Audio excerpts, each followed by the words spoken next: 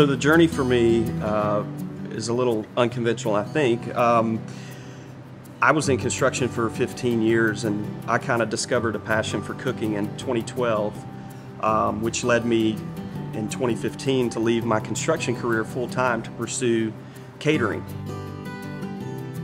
It's never our plan to have a restaurant. We ran and ran from it for years and, and ultimately made the decision to go for it.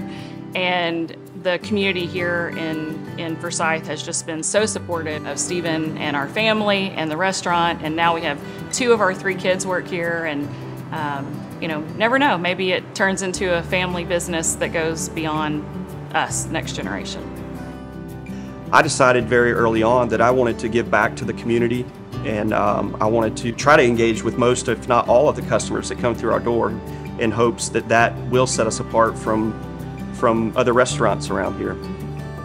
Stephen is the secret sauce to this place. He comes out and he always makes my children feel very welcome. When my daughter turned four, he picked her up in the middle of this place and sang happy birthday with the whole restaurant and you know just a great place to make memories.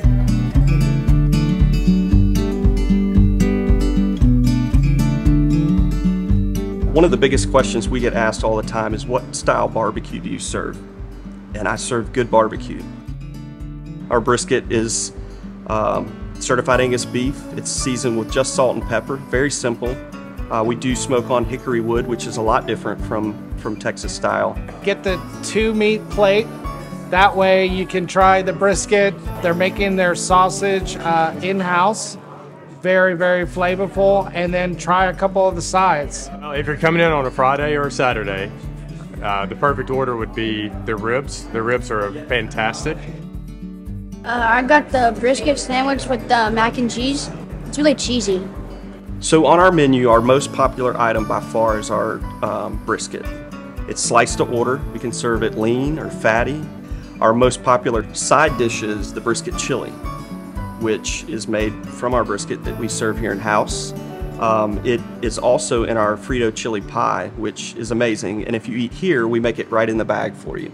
Everything's good. Everything. I love it here. I was not your family. I was a stranger to you once. But you treated me like we had the same blood. So at the beginning of the pandemic, um, one thing that became really clear to me was um, the school systems after they shut down, there would be no way for some people to get a meal. Uh, some, some of those kids that go to school rely on that breakfast or lunch that they get.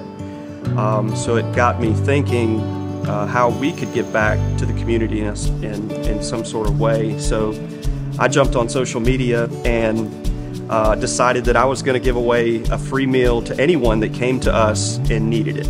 I was looking at a sign that says practice radical empathy. And that's exactly Stephen. So anytime he hears of a need or he's just got that gift where he can, can seek it out, and the first thing he's going to do is no matter what it costs, he's just going to jump in and try to help out. And that's what I love. And that's what I think this whole barbecue community is so good at. And he just defines that.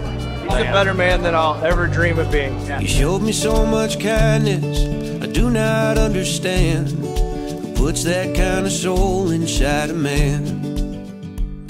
Another thing during the pandemic that I noticed uh, pretty quickly was the restaurant industry was was starting to crumble. Uh, there was a Facebook post about Lake Burrito here in Forsyth County, and they were uh, almost out of business and didn't know where the next day would land for them. So um, I took to social media that night that I found out and made a plea to the county that um, if they shopped with us tomorrow, which would have been a Friday, that we would donate 100% of our profit to Lake Burrito that day. And um, the community not only showed up here and sold us out at 12:30, but they showed up at Lake Burrito as well and sold them out of lunch and dinner by one o'clock. I have this um, quote from uh, our pastor Andy Stanley. He always says, you can't help all, but you can help one. So do for one what you wish you could do for many.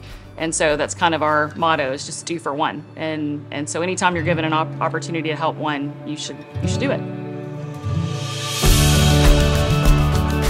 We do our barbecue here in our tiny little 1,400 square foot building that is in the middle of uh, strip mall. it's cool to see people come in and, and take a look at what's here, and it gives me the opportunity to shine a bright light on inclusion and, and that everyone's welcome, and most certainly everyone's welcome in my restaurant. I'm proud of that, very proud of that.